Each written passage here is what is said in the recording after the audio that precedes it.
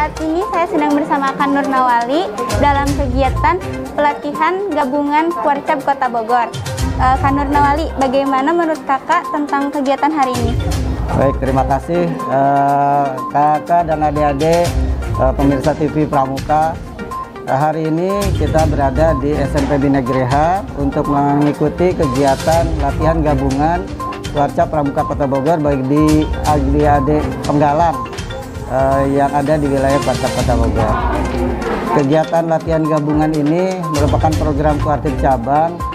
Yang pertama adalah tujuannya untuk bisa mengeratkan kembali, uh, mengikat kembali anggota pramuka. Setelah sekian lama kita tidak mengadakan kegiatan pertemuan dan latihan tatap muka. Sehubungan dengan sudah uh, diberikannya kesempatan bagi pramuka untuk bisa berkumpul kembali manfaat dan harapannya kak? Ya, kalau manfaat kegiatan ini pastinya banyak. Yang pertama uh, ada materi-materi yang kita uh, ingatkan kembali kepada adik-adik kita yang ikut. Uh, ada materi-materi baru juga yang akan disampaikan oleh para pelatih dan instruktur. Dan kalau untuk manfaatnya, yang pasti bahwasanya kegiatan ini akan uh, apa namanya memberikan nilai tambah bagi anggota pramuka yang ikut dalam kegiatan ini dan tentunya persiapan bagi adik-adik juga uh, dalam pelaksanaan kegiatan-kegiatan yang akan datang. Kita akan menghadapi uh, ke depannya ini akan menghadapi kegiatan Jambore Nasional tahun depan. Kita butuh anggota-anggota yang terpilih. Kemudian juga kita akan mengadakan kegiatan lomba tingkat uh, tiga uh, Kota Bogor. Dan sebelumnya didahului dengan kegiatan lomba tingkat dua uh, di masing-masing wilayah Kuaran. Untuk itu memang perlu disiapkan anggota yang selama ini memang tidak banyak atau tidak bisa melaksanakan kegiatan latihan di gus depan atau pangkalan masing-masing. Jadi harapannya juga bahwa dalam kegiatan ini adik-adik bisa menimba ilmu manfaat yang sebesar-besarnya untuk mempersiapkan eh, kegiatan-kegiatan uh, besar yang akan datang. Itu saja. Oke, terima kasih waktunya untuk Kak Wali. Uh, sekian laporan saya hari ini. Saya Windy, pamit undur diri. Salam Pramuka. Assalamualaikum warahmatullahi wabarakatuh. Halo Kak, selamat siang. Selamat siang. Mohon perkenalkan diri Kak. Baik, eh, perkenalkan nama kakak eh, Kak Teti Marlina, kakak dari Andalan Abdimas Kuarcap Kota Bogor. Izin bertanya Kak, tanggapan kakak nih sebagai Andalan Kuarcap di SMP Bina Graha ini bagaimana Kak? Baik, eh, kebetulan eh, saya Kak Teti menjadi tuan rumah di SMP Bina Graha ini uh, di, di sekolah tingkat SMP dalam kegiatan latihan gabungan Pramuka Kuarcap Kota Bogor. Dan di sini pula kita uh, menerima tamu ya kakak sebagai uh, tuan rumah. Karena memang kakak juga tinggalnya di sekolah ini ya sebagai tuan rumah dan menerima uh, adik-adik dari kuaran-kuaran se-Kota Bogor untuk melakukan kegiatan latihan gabungan. Kepramukaan ini uh, gabungannya dari mana aja kak? Uh, ini gabungannya adalah uh, sekota Bogor dari kuaran mulai kuaran Tanah Sarea, kuaran uh, Bogor Utara, Bogor Barat, Bogor Tengah gitu ya, uh, Bogor Barat. Jadi semua adik-adik uh, itu tersebar. Jadi di sini kita melaksanakan kegiatannya itu uh, supaya mereka mengenal lebih jauh teman-teman yang seangkatannya tetapi sekota Bogor ya. Jadi mereka itu bisa bersosialisasi bisa mengenal sesama sekolah yang lain gitu. Nah, ditempatkannya ya kita bersama-sama di SMP Bina Geraha ini. Pendapat kakak nih tentang acara itu acara ini tuh seperti apa sih kak? Oke. Menurut kakak acara ini sangat bagus sekali ya karena ini menjadikan wadah untuk para penggalang Koarcap Kota Bogor uh, semisalnya mereka semuanya Garuda ataupun masih masih sebelum Garuda mereka bisa uh, lebih banyak teman, lebih banyak saudara dan juga mendapatkan ilmu itu yang terpenting ya dan pengalaman. Pengalaman itu tidak akan akan hilang ya karena mereka pernah melakukan kegiatan bersama di SMP ini dan banyak sekali teman-teman yang suatu hari nanti mungkin mereka juga akan ketemu lagi dalam wadah yang lain gitu Kak.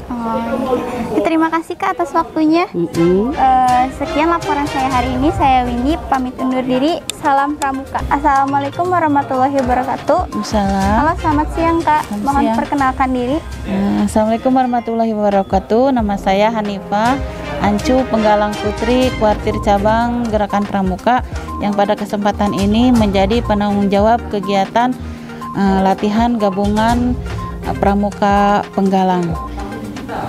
Izin bertanya kak, Iya. tujuan dari acara ini tuh apa sih kak? Uh, yang pertama adalah uh, silaturahmi uh, antar penggalang karena selama ini kan kita kegiatannya tidak pernah tatap muka. Yang kedua adalah meningkatkan uh, kembali kegiatan atau meningkatkan kembali ke pengetahuan mereka tentang keterampilan kepramukaan dan terutama keterampilan kepramukaan dan terutama masalah eh, dan sekarang ditambah nih peningkatan mereka tentang situasi saat ini yaitu situasi eh, COVID. Bagaimana jalan acaranya? Eh, kegiatan acara hari ini yang pertama tadi sudah dimulai dengan pembukaan, yang kedua eh, materi eh, kepemimpinan, yang ketiga adalah materi tentang eh, baris berbaris dan alhamdulillah baris berbarisnya langsung dilatih oleh Kak Kadi dan Kak Etik dari Binawasa. Selanjutnya yang ketiga adalah materi tentang penanggulangan bencana atau eh, dan pada kesempatan ini disampaikan oleh Kak Lutfi bagaimana eh, cara menjadi relawan yang baik. Selanjutnya nanti setelah kegiatan ini kita mau ada dinamika kelompok, kemudian baru anak-anak dilatih eh, latihan keterampilan kepramukaan di antaranya ada sandi, kemudian ada pioneering dan juga eh, tak lupa ada kegiatan kita anak-anak akan kita belajarkan atau ajarkan tentang eh, studi kasus gitu. Motivasi kakak dalam acara ini seperti apa kak? motivasinya eh, saya ingin eh, kembali eh, mengetuk atau eh, gimana ya saya ingin eh, anak-anak yang ini sudah yang sudah latak ini nanti di tahun depan bisa ikut serta di kegiatan Pramuka Garuda. Eh, ucapan terima kasih yang tak terhingga yang pertama pada Allah Subhanahu wa taala, yang kedua kepada Kak Warcab eh, Kota Bogor, eh, Sekum Kota Bogor, para waka eh, terutama waka Bina Muda dan sekretaris Bina Muda yang selalu mensupport kami. Kemudian waka Abdi Mas, Waka Binawasa, Waka Orgakum, Waka Usaha dan Dana, Waka Sapras, Waka Kominfo dan eh, semua pihak yang tidak bi- bisa disebutkan satu persatu. Dan untuk TV Pramuka, terima kasih yang selalu support kegiatan kami. Mudah-mudahan TV Pramuka terus maju, TV Pramuka nanti eh, bukan hanya channel YouTube tapi betul-betul menjadi satu TV Pramuka yang handal. Terima kasih. Assalamualaikum warahmatullahi wabarakatuh. Assalamualaikum warahmatullahi wabarakatuh. Perkenalkan nama saya Windy. Saat ini saya sedang berada di Kuarcap Kota Bogor dengan Kak Nur Nawali. Mohon perkenalkan diri kak. Baik, terima kasih Windy. Eh, Assalamualaikum warahmatullahi wabarakatuh. Salam Pramuka. Saya Nur Nawali Amin, Sekretaris Kuarcap Kota Bogor. Izin bertanya kak, Ya, siap. Apa saja sih yang dibahas pada rapat hari Ya. ini?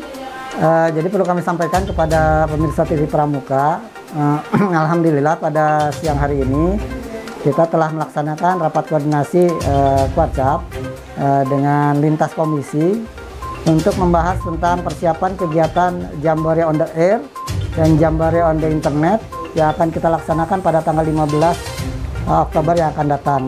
Jadi kehadiran eh, para andalan untuk hadir dalam rapat kesempatan siang hari ini adalah untuk membahas persiapannya hadir dari eh, Komisi Bina Muda yang nanti akan mengerahkan anggota-anggotanya untuk ikut kegiatan ini. Kemudian hadir juga dari Komisi Abdimas. Nah, siaga bencana. Kenapa juga kita libatkan? Mulai tahun ini kita coba libatkan anggota Satgas Pramuka Peduli yang ada di bawah eh, Komisi Abdimas dan Siaga Bencana itu menjadi eh, peserta ya peserta inti dan karena mereka juga kita dorong kita harapkan anggota Satgas Pramuka Peduli ini punya kemampuan dasar dalam penguasaan radio amatir. Kemudian hal yang lain yang kita undang juga adalah dari pihak sekretariat tentunya yang akan menyiapkan kegiatan dari sisi administratif. Kemudian juga kita undang juga dari eh, yang akan memimpin kegiatan ini dari Komisi Humas dan Media Informasi. Jadi sebagai ketua pan- panitianya adalah Kak Mat Adi Waskita sebagai andalan eh, Humas dan Media Informasi. Nanti dibantu oleh andalan-andalan lain di Komisi Humas Administrasi eh, dan Media Informasi. Kemudian juga dari bidang sarana prasarana uh, kita libatkan juga untuk supporting kegiatan ini. Dan itu untuk persiapan. Nah, rencananya tanggal 15 itu sendiri akan kita laksanakan pembukaannya uh, di Sekretariat Orari Lokal uh, Kota Bogor, itu di Menteng Asri, daerah Menteng Asri. Itu pada hari uh, Jumat tanggal 15 Oktober uh, jam uh, kita mulai itu jam uh, jam berapa? Jam 14 ya, jam 14.00 karena memang sudah ada panggilan dari Kuartir Nasional dari pusat dan kemungkinan besar untuk acara uh, apa pembukanya kita laksanakan sekitar jam 15.30. Itu. Mengapa sih Kak diadakannya rapat hari ini? Ya. Ya karena memang kita butuh untuk persiapan. Kegiatan Jota Joti ini kegiatan yang sudah sudah lama sekali kita laksanakan ya, sudah beberapa uh, belas tahun. Uh, apa namanya sudah yang keberapa puluh ya, berapa sudah cukup lama kegiatan ini ya. Uh, dari tahun 80-an sudah dilaksanakan. Nah, kalau untuk kegiatan Joti sendiri mungkin baru tahun 90-an dilaksanakan. Ini kegiatan yang memang sudah uh, apa namanya rutin dilaksanakan. Kalau untuk kegiatan Jotanya sendiri kerjasama dengan pihak Orari uh, lokal Bogor, Kota Bogor. Kalau untuk kegiatan Jotinya sendiri berhubungan dengan internet, kita kerjasama dengan Dinas Komunikasi dan Informasi uh, Pemerintah Kota Bogor. Dan kenapa ini penting? Karena ini kita harus siapkan. Kita sudah mepet sekali waktunya Tadi kita coba bahas kaitannya dengan kepanitiaan, pembagian tugas, dan juga masalah uh, pengaturan peserta, kehadiran peserta. Jadi direncanakan peserta sumbernya adalah dari kuartir ranting, ya, sebanyak 20 orang setiap kuartir ranting dengan komposisi 10 orang penggalang, 10 orang penegak. Dan dari 20 orang ini diutamakan adalah pramuka Garuda. Jadi yang berbeda tahun ini kita utamakan pramuka Garuda, maksudnya adalah yang baru dikukuhkan kemarin inaugurasi tanggal 1 Oktober. Pramuka Garuda yang di Kota Bogor ini benar-benar punya kemampuan tambahan. Uh, selain kemampuan-kemampuan teknis pramukaan juga kemampuannya kita tingkatkan terus. Salah satunya dengan kemampuan penguasaan dalam masalah uh, apa namanya amati radio ya dalam kegiatan Jota dan juga untuk masalah jotinya masalah literasi digital dan kehumasan harapan harapan ke depannya kegiatan ini jadi kami punya punya mimpi punya harapan. Itu juga ada harapan dari apa namanya uh, dari kuartir nasional. Anggota pramuka yang punya keminatan dalam masalah radio amatir bisa dihimpun dalam satu komunitas. Itu namanya uh, radio scouting Indonesia. Jadi komunitas radio scouting Indonesia ini adalah anggota pramuka yang punya keminatan terhadap uh, apa, uh, hobi dalam masalah radio amatir dan ini nantinya kita dorong mereka ini anggota atau komunitas dari radio apa Indonesia apa dari uh, radio Scott Indonesia ini untuk bisa apa namanya untuk bisa uh, ikut ujian. Ujian orari punya call sign punya nomor induk punya call sign resmi menjadi anggota uh, orari dan bisa mengudara secara resmi juga.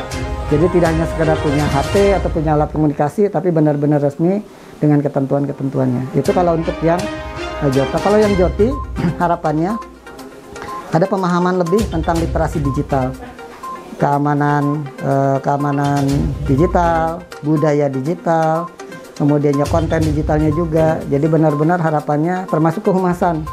Yang materi kehumasan kita akan berikan juga untuk peserta Joti ini harapannya yang ikut nanti bisa mempublikasikan, bisa menyampaikan kepada masyarakat luas tentang pramuka dan salah satunya yang kita akan coba dorong adalah mencoba meningkatkan kemampuan anggota pramuka untuk menulis. Ya, kemampuan menulis baik penulis berita, menulis esai dan sebagainya. Sehingga nanti ke depannya uh, kalau ada kegiatan-kegiatan pramuka kita bisa secara efektif menyampaikan kepada masyarakat. Dan itu dan mudah-mudahan kerjasama dengan orari lokal Kota Bogor tidak hanya dari jota ke jota, tapi kita akan coba buatkan secara rutin setiap uh, bulan itu semacam kelas pembelajaran baik secara teknis, kelas teknik ya misalnya dalam masalah merakit, kemudian mengoperasikan, termasuk juga masalah struktur organisasi dari itu sendiri, termasuk kegiatan-kegiatan yang berhubungan dengan komunikasi radio. Dan untuk yang jotinya sendiri juga sama, kita akan buatkan kelas juga berhubungan dengan masalah penguatan literasi digital. Itu. Terima kasih. Terima kasih atas waktunya Kak. Salam Pramuka. Saya, terima kasih. Salam Pramuka. Sukses untuk TV Pramuka. Sekian laporan dari saya. Saya Windy pamit undur diri. Salam Pramuka.